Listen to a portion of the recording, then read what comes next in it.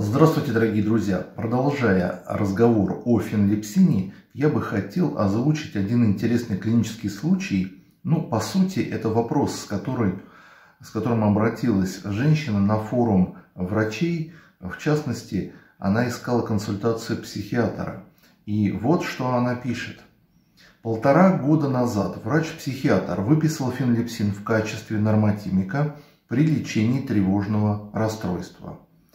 Примерно через неделю начались сильные побочные эффекты, повысилась температура, возникла головная боль, подавленное состояние, напряжение в глазах. Она пишет так, закрываю глаза и чувствую, что глаза двигаются, спутанность сознания, какой-то вообще иррациональный страх, ночью чувствовал сильное сердцебиение, сил не было, то есть слабость, не могла кулак сжать, кружку держать, мышцы как будто перестали работать. Странное ощущение десен, как будто бы зубы сейчас выпадут. Очень, очень интересный симптом, кстати говоря. А, она не, не указывает, был ли какой-то другой препарат, потому что я думаю, что все-таки наряду с фенлепсином обычно для лечения тревожного расстройства назначают какой-нибудь антидепрессант, транквилизатор. Все-таки это а, препарат не, не является препаратом выбора, фенлепсин я имею в виду. Но она э, отметила только фенлепсин. Отменили э, и перестала принимать другие препараты вообще. То есть что-то было. И на протяжении вот полтора года, как она считает, вот симптомы очень странные сохраняются. А именно, проблемы с глазами. Утром нужно время, чтобы их открыть. Как будто бы это физически сложно. Плюс периодами как будто бы все через слезы смотришь, то есть такое какое-то искажение восприятия. Слабость, утомляемость, пониженная температура. То есть какая-то а, проблема с терморегуляцией. Странные ощущения в деснах у нее продолжаются, а не менее пальцев ног периодически возникает на несколько дней. То есть некие периоды. Стихийно появляются частые позывы к мочеиспусканию. А, самостоятельно возникают, ну, спонтанно, и также спонтанно они проходят через несколько дней. А, часто бывает состояние страха, но не тревожность и не паническая атака, а какое-то перманентное состояние, ну, видимо, очень тягостное, которое даже феназепам а, не облегчает.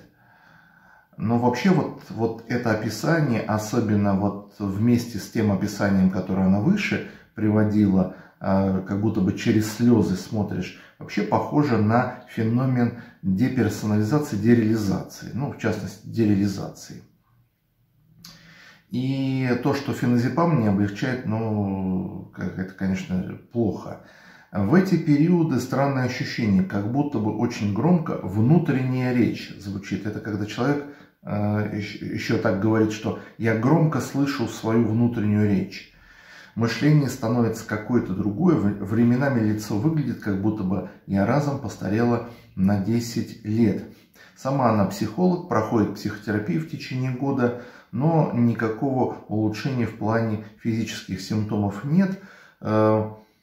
После, после приема фенлепсина она отмечает, что были плохие а, анализы крови, пониженные показания, показатели, ферритин низкий, гемоглобин 127. Да, ну и она добавила еще сама самостоятельно хилатное железо, но симптомы все равно э, у нее остаются.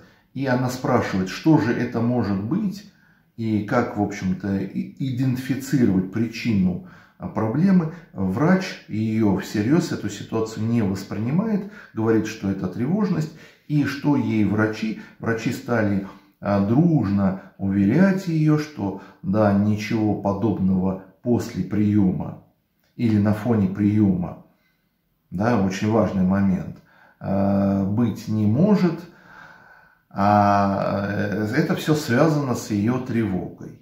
То есть это какая-то разновидность ее тревоги. что бы я здесь, какой бы вот комментарий сделал по этому поводу? А, что, да, бывают, бывают некие состояния, э, осложнения, бывает осложнение в том числе психотропной терапии. Вот так как она э, сейчас описывает вот данное состояние, это похоже, в общем-то, ну вот на сегодняшний день.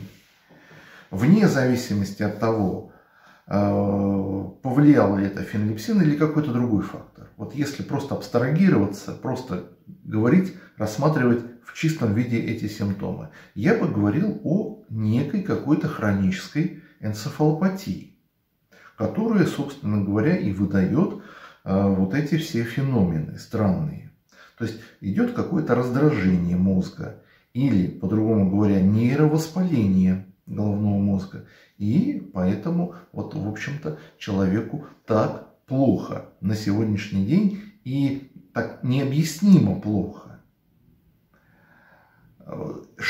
Повлиял именно ли э, фенлепсин? Ну, я бы не исключал бы полностью вот этой ситуации. Не исключал, что возможно, что Э, наряду с какими-то другими факторами он дополнил другие повреждающие факторы, и вот создалось, вот развернулось такое расстройство. Я бы это не исключал бы полностью. Но вот, тем не менее, ее всячески уверяют, что это просто тревожное расстройство, и нужно просто подключить антидепрессанты и все. Вот такой у меня небольшой обзор э, на клинический случай. Благодарю всех за внимание.